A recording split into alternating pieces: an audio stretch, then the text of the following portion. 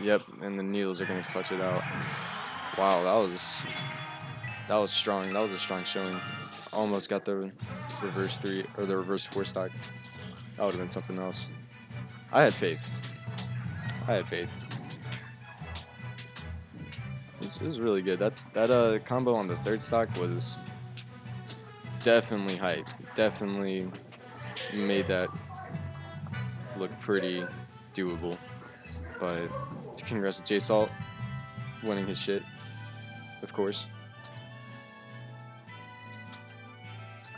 And that's a wrap.